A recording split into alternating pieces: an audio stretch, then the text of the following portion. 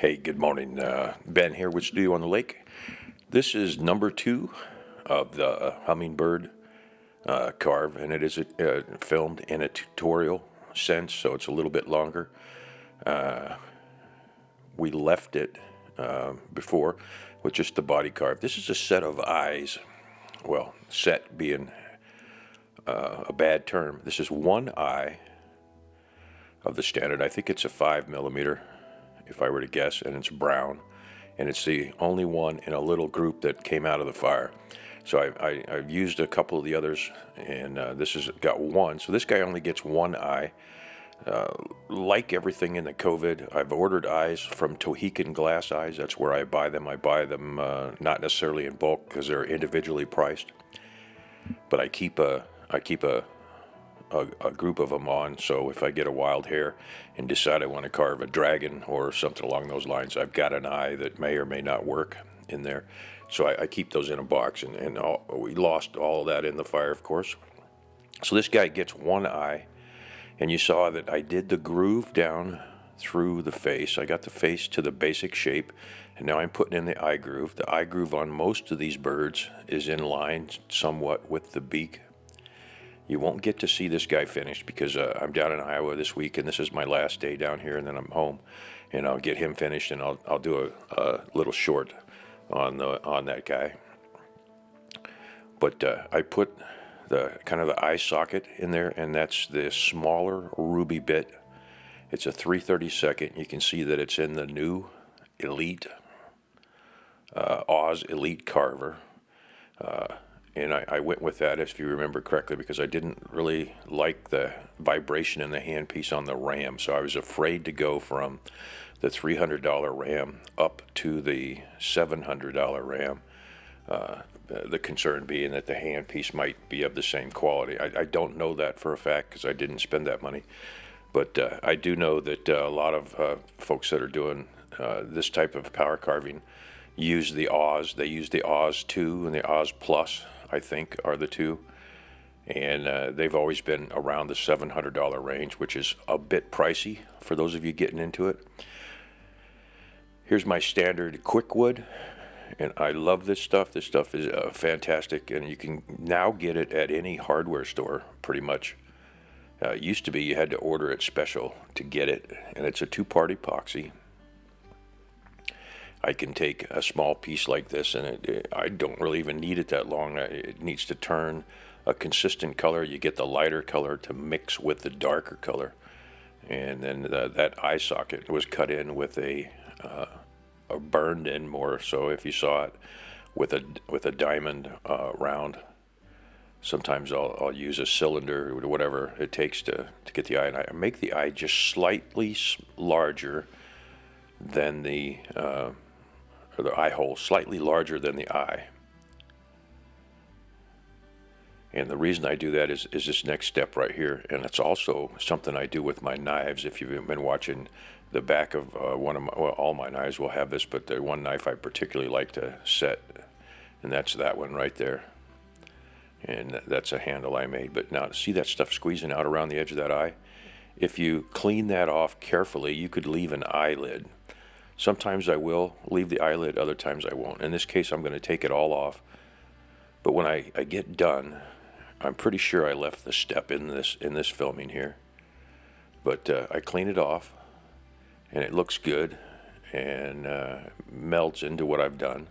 You can also do the feathering before you put the eye in. That way you don't have a chance of tacking it. But uh, I, I, typically don't anymore. And now here's the here's the tricky part, and, and this isn't really going to show. The last thing I do is press this eye just a little bit more, and it brings a little ridge around the eye and then you can come in and uh, either sculpt it or, or take it off. In this case, I, I, I, didn't need the ridge and I took a lot of it off. Now there's one without the eye, and you you'll see the second one. I, I got some eyes coming in, and hopefully, I don't remember. Hopefully, I got a five millimeter brown.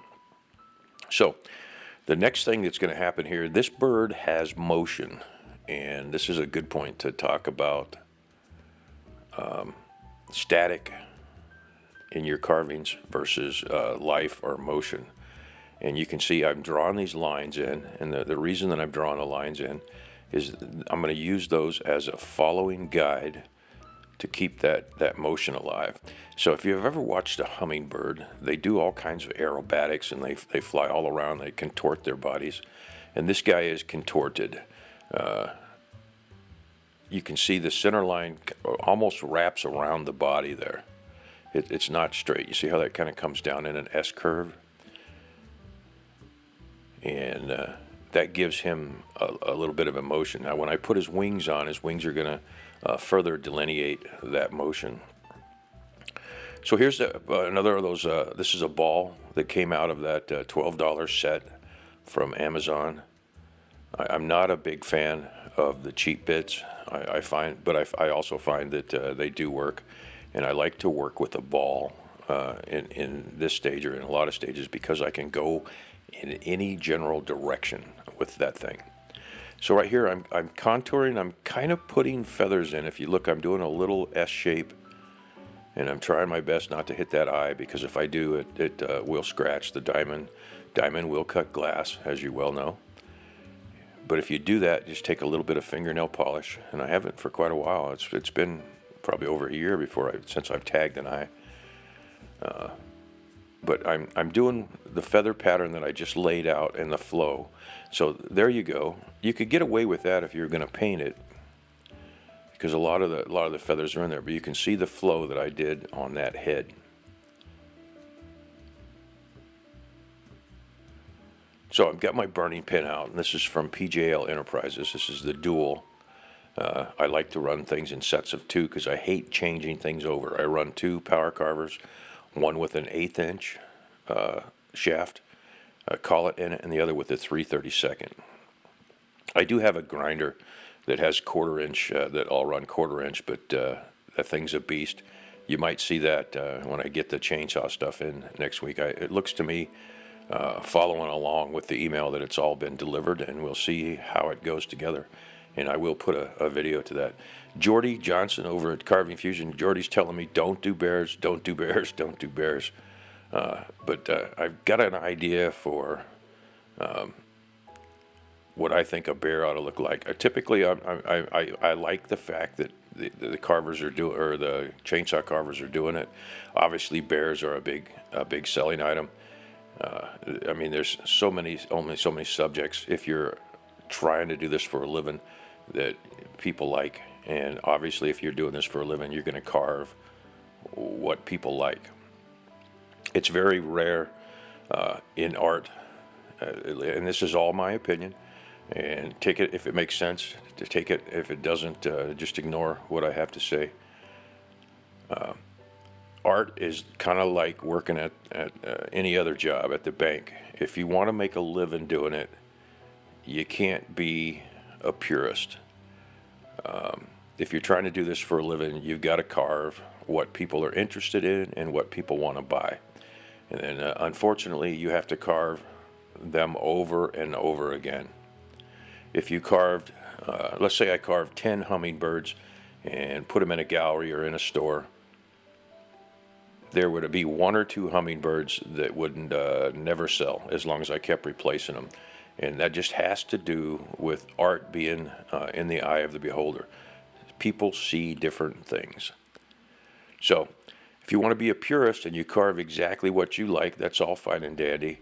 Uh, but chances are probably pretty good that you won't, unless you're really, really good and really have a following, you won't be able to carve uh, what you want to and make a living at it. You have to compromise at some point.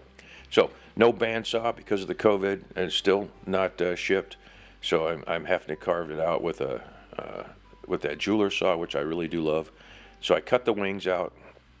I left them intentionally thick so that I can do a curvature on the wings, and then I, I cheated. Uh, since the wings should be relatively the same, I took a knife and a rubber hammer and split them. And uh, for some reason, they, uh, one piece cut really nice and one didn't, so I'm going to clean that up and make that one wing match the other wing. And the quickest way to do this of course, is with a knife. You're going to notice that I've uh, I've turned the music down quite a bit. I got kind of lax in uh, in the evolution of this. And initially, I would put a video up and I wouldn't say anything uh, and put music in there. And people received that with various different degrees. And then, uh, evolution of the channel, uh, people said, Well, I like your voiceover. So I started doing more of a voiceover. And then in the editing, uh, I use um, DaVinci Resolve to do the editing. It has a audio editing in there, and, and I can do what they call docking or ducking, meaning when I talk, the uh, music goes down and comes out, and then as soon as I quit talking, it picks that up and, and ramps the music up a little bit. Well, when you're adjusting volumes on on that, uh, sometimes I do it. I edit quickly, and I don't pay a whole lot of attention. Uh, after four hours of carving and two hours of editing, uh, the urge to just get finish this thing and not review it. I don't want to see it again. I've seen the parts and pieces uh, five or six times. Uh, I, I just put the video up, and sometimes the sound has been too loud. Well, a gal uh, put a comment in there, and I thank you guys for the comments because I do try to uh, change and, and put stuff out, and content out that you guys are interested in. So I'm going to attempt to, uh, I'm going to run the music very lightly in the background here because uh, there's nothing more boring than, uh, unless it's really quick, a minute or two. You can't watch 20 minutes of pure silence. Uh, One of the, I, I did some of that, and some comments were kind of funny. Uh, some guy said, I, I loved watching the video, uh, but at 15 minutes, my wife said, What the hell are you doing in there? It's awful quiet. It's too quiet. It's, it's like the kids, you know, you, you can tell when something is uh, going on because all of a sudden it gets pretty quiet. And, and that's a point where uh, any of you who've raised kids or grandkids know that you need to get your butt out of the chair and go see, go see what's causing all that secrecy to happen. So that that's just kind of like a, funny funny thing, you know. Uh, things you learn throughout your life is is try to keep a poker face. You can walk. I remember walking back into the house when when the kids were little, and uh, you knew something happened simply because they all looked guilty. Uh, they were sitting around. It wasn't wasn't normal behavior, and you're like, all right, what happened? Who did what? So you saw me put the wings in there. I do a V groove uh, in the back, and then uh, I didn't show you. It's I used super glue on that. I'll, I'll, I'll randomly switch back and forth between super glue and uh, epoxy. I have found that over the years, if you're using super glue, super glue after 10 years will deteriorate, especially if it's uh, uh, the pieces in the sun or it has a little bit of sun through the window, and you'll end up re-gluing those pieces the epoxy seems to have a, a longer lifetime.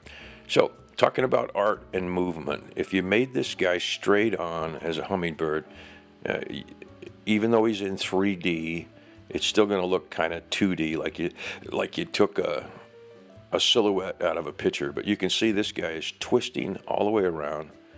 It gives him uh, motion, and and in my opinion, a- along with that motion, uh, comes life. So you're breathing life into it when you twist it. And a lot of times, all you need to do is twist a head, uh, tilt a head. And if you think about it as you're sitting in your chair and play with your head, uh, if you turn your head to the side, that gives you kind of an inquisitive uh, look or, or whatever. And, uh, well, you get what I mean. So, art, uh, kind of trying to stay on a subject here, and I'm going to lay the tail feathers out. I always lay the lines out, and the, and the reason that I lay the lines out is it keeps me honest, and it keeps me going in the right uh, general direction.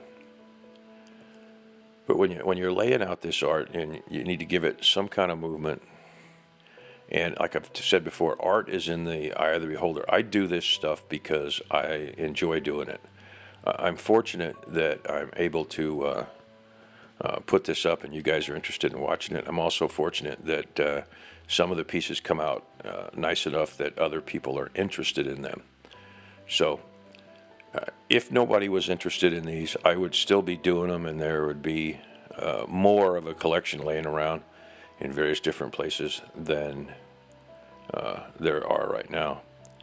I, have a ton of, of wood carvings around done over the years. Some of them I, I, I have a, an attachment to or I like. Some of them my wife has, has kept grabbed and, and caught. She's actually taking uh, carvings that I've, I've done, commission carvings, and I finish them, and, and uh, she takes it out of my hands, looks at it, and then takes it and puts it on a shelf and says, okay, that's cool, thanks, that's for me, do another one. Uh, and I protest and say, you know, that's, that's, that's a commission piece. And she's like, too bad, do another one. Uh, I like this one, this one's mine. Uh, that's a pretty good indication that people like your art, or somebody does anyway. Uh, the other thing that I, that I have done, and I don't, not so much anymore, is still kind of a rule.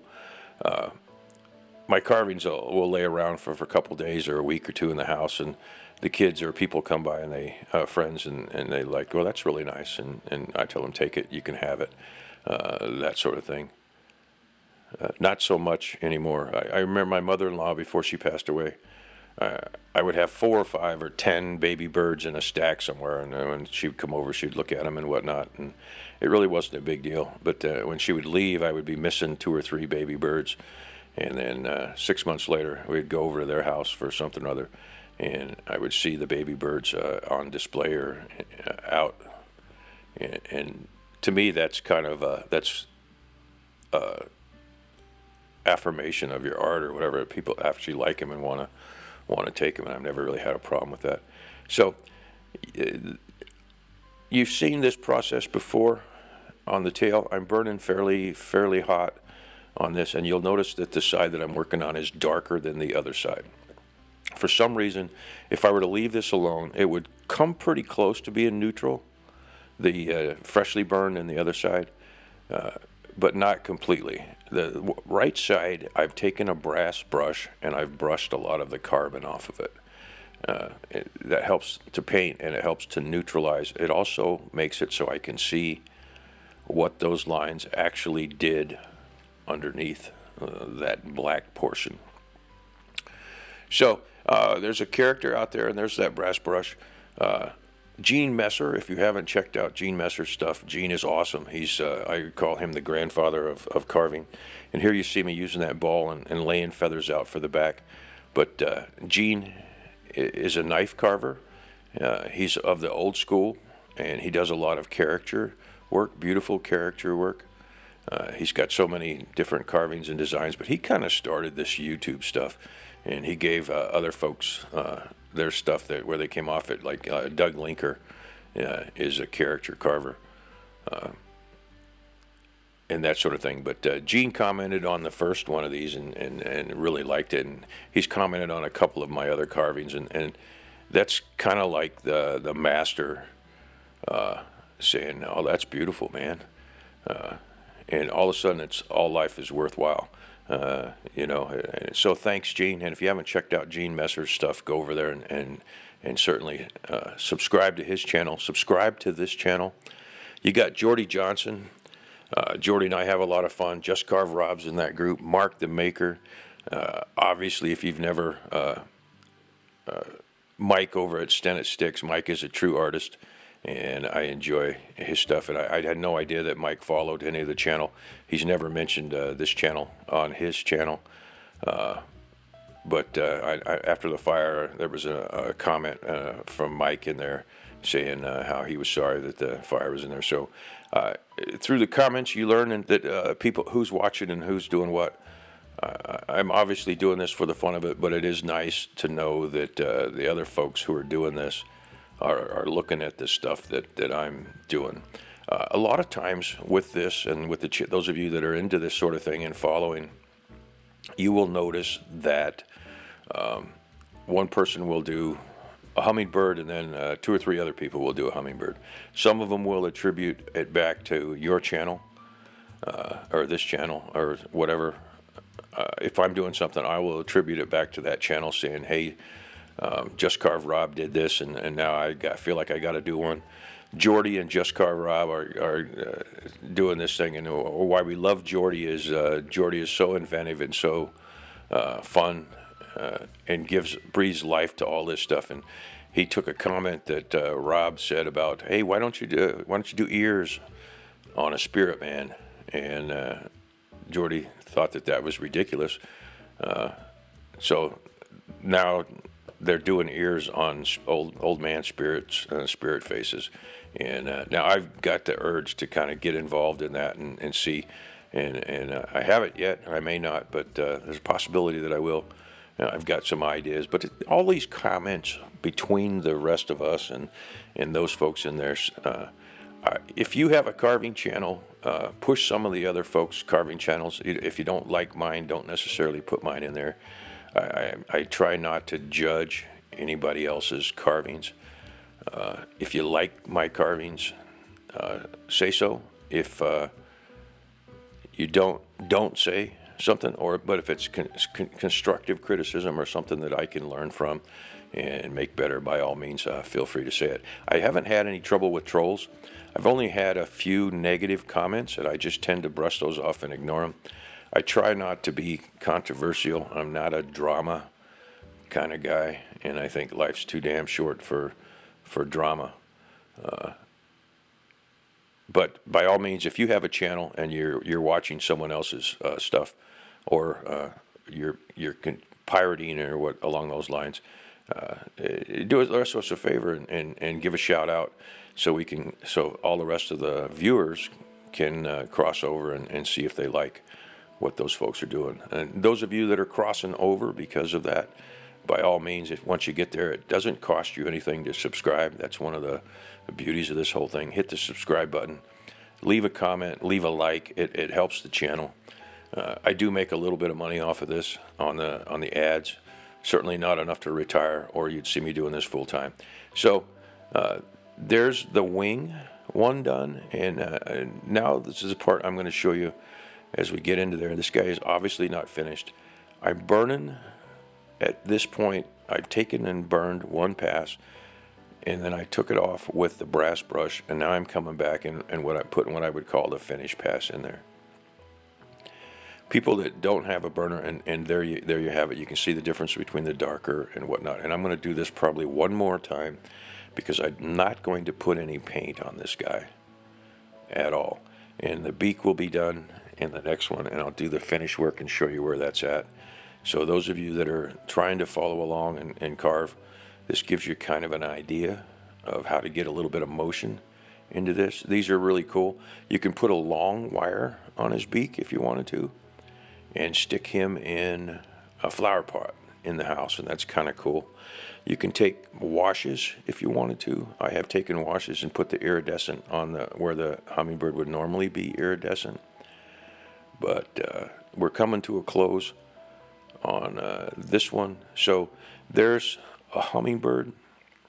It's uh, one of my signature hummingbirds. I've been making them for years. I use typically the scraps to do this.